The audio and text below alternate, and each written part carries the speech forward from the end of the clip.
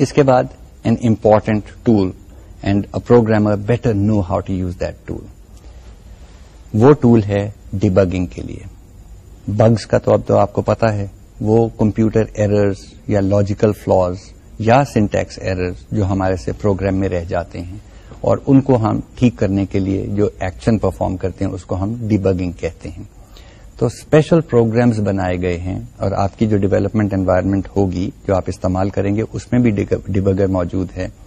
जो आपको ये अलाउ करता है कि जी प्रोग्राम को चलाया जाए, किसी एक जगह पे उसको रोक लिया जाए और फिर देखा जाए कि जी जो हमारे वेरिएबल्स बीच में थे एक्स था वाई था जेड था, बंदे का नाम था, उसकी सैलरी थी एक्सेट्रा उनकी इस वक्त कंप्यूटर की मेमोरी में वैल्यूज़ क्या हैं? उस वैल्यू को इंटरक्टिवली चेंज कर लें। उसको आगे पीछे कर लें और फिर बाकी का प्रोग्राम चला लें। So it's a very very powerful tool obviously वही बात कि जी पावरफुल है तो कॉम्प्लेक्स भी होगा। सो थोड़ा सा सीखने की ज़रूरत पड़ती है। कंपाइलर जो है वो सिंटेक्स एरर्स निकाल देगा। लॉजिक एरर्स को ट्रेस करने के लिए आपको डिबगर की ज़रूरत पड़ती है। अच्छा। अब हमने प्रोग्राम लिख लिया कंपाइल कर लिया, ठीक है? और होपफुली समझा कि जी ये लॉजिकली भी करेक्ट है। क्या प्रोग्राम जो हमने लिखा वो अकेला चल सकता है? कई दफ़ा ये अकेला नहीं चल सकता। बहुत सारी इसके अंदर और रूटीन्स या फ़ंक्शंस या सब प्रोग्राम्स की ज़रूरत होती है, जो कि कंप्यूटर उनको इस प्रोग्राम के साथ इकट्ठा करे तो फिर एक प्रॉपर एक्सिक्यूटेबल प्रोग्राम बन सकेगा।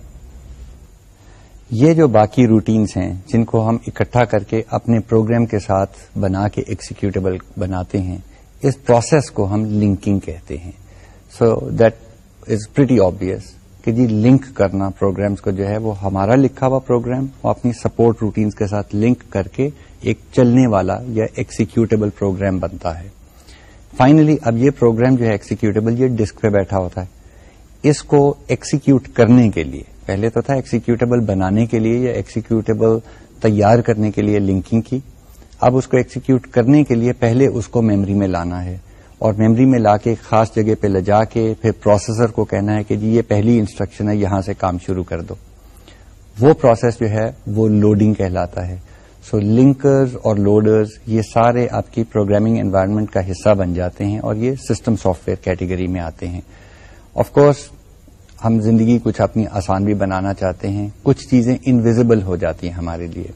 अगर यूनिक्स में बैठ के हम काम करें तो सिर्फ़ प्रोग्राम का नाम कमांड प्रॉम्प्ट के ऊपर आपने दे दिया, एंटर दबाया, वो प्रोग्राम चलना शुरू हो जाए यानी लोडर पीछे चुप करके चल गया, आपको कोई लोडर बुलाने की ज़रूरत नहीं रही।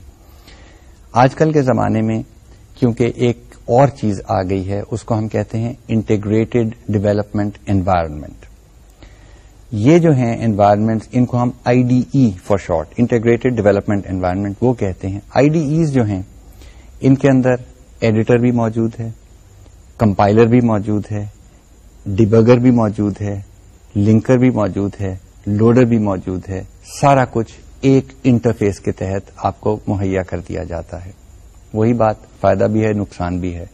फ़ायदा यह है कि जी, कोई कमांड याद करने की ज़रूरत नहीं है प्रोग्राम लिखो, बीच में से ही कंपाइल करो, चला लो। नुकसान ये है टिपिकली ये एनवायरनमेंट बड़ी कॉम्प्लेक्स हो जाती है। यानी इतने सारे बटन्स होते हैं मेन्यू आइटम्स होते हैं, बहुत चीज़ें सीखने की ज़रूरत होती है।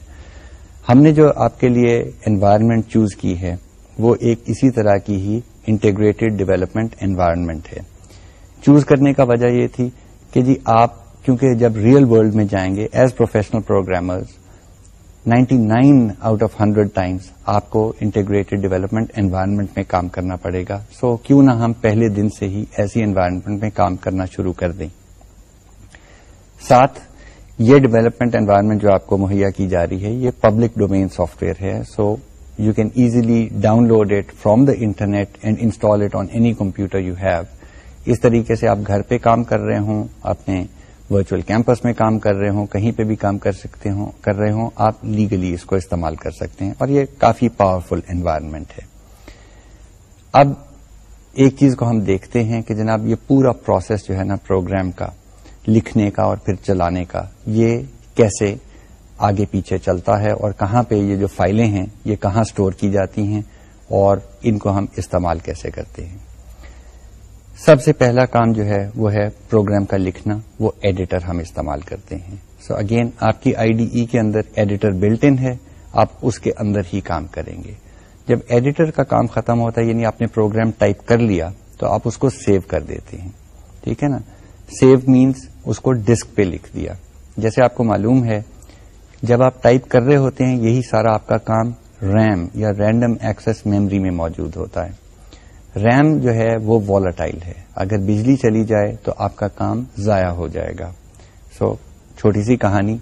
वही बात कि जब हम यूज़र इंटरफेस और फ्रेंडलीनेस की बात कर रहे थे और यूज़र्स की विजडम की बात कर रहे थे you know the secretary again start typing a letter पूरा लेटर टाइप करके कहती है।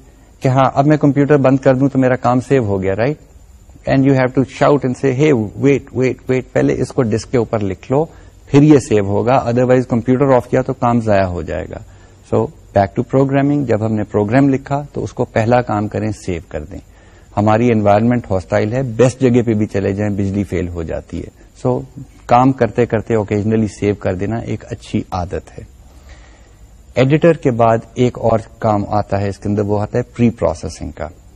प्री प्रोसेसिंग अनफॉर्चुनेटली एक थोड़ा सा कॉम्प्लेक्स टॉपिक है।